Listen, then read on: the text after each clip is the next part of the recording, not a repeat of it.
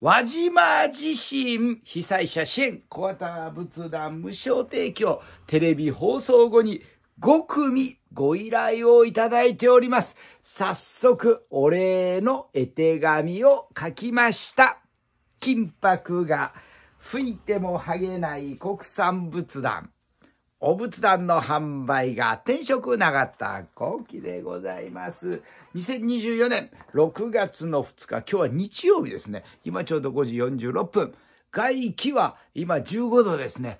えー、今日はですね、朝の7時半から一斉清掃、熊本市一斉清掃でございます。頑張ります。朝動画でございます。あの、昨日ですね、もうさすがテレビの、あの、威力というのはすごいですね。北陸放送様からですね、もうあの、これご、ご放送をいただいて、この番組からですね、5組、もう連続でですね、能登半島被災者支援小型仏壇無償提供のご依頼をいただいております。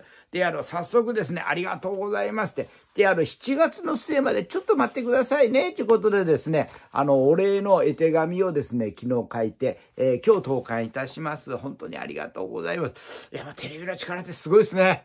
やっぱすごいと思います。で、あの、何大大きかったのは、その、あの、北陸放送さんのニュースがですね、ヤフーニュースのトップニュースに載ってるんですよね。やっぱあれを、で、あの、それから2件ですね、ご依頼いただいております。で、あの、どんどんどん、あの、ここには電話番号書いてますので、24時間年中無休受付でございますから、お電話ください。あの、こちらのお仏壇ですね。えー、これは切り製でございます。コンパクト。ですから仮設住宅とかに設置ができる大きさにわざとしております。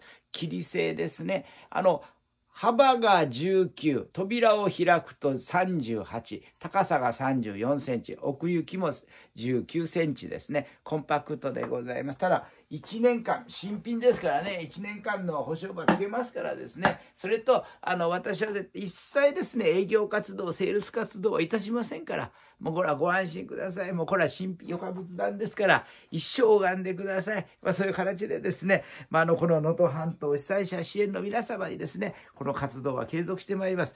しかし、やっぱりテレビの力って大きいですね。本当北陸放送さんありがとうございました。もうたくさんのですね、反響をいただいております。はい。まあそういう形でですね、はい。えー、輪島地震支援仏壇無償提供、テレビ放送後に5組ご依頼を現在いただいております。はい。何組でも、これはあの、あの、頑張りますのでね。はい。何組でも頑張ります。はい。お礼の絵手紙を早速書きました。ヤフーニュースで、やっぱヤフーニュースにも載ってるんですよね。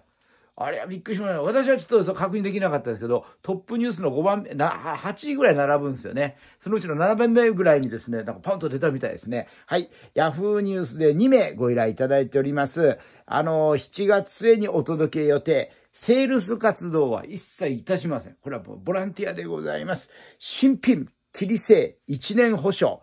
これ横仏壇ですね。ちゃんと1年の保証もつけます。で、あの、096-329-0224にお電話ください。あの、これはですね、金沢の方とか、あれ、よく、人吉の時も、また人吉には400無償提供してるんですけどね。人吉の方もですね、子供さんのと福岡にいらっしゃる方もいらっしゃいましたね。福岡の方に送りました。そういう形でですね、あの、大阪でもどこでも結構でございます。096-329-0224対応します。年中無休、24時間受付でございますので、はい。まあ、あの、そういう形でですね、あの、当店ですね、あの、前も言っておりましたけどね、輪島漆器の行書で父と母がこのお店を作りました。輪島のおかげで今のお店があります。で、今度は輪島に恩返し、仏壇で恩返し、一つ皆様よろしくお願い申し上げます。はい、ここまでこの動画を見ていただいてありがとうございます。皆様の開運は天、お祈り申し上げます。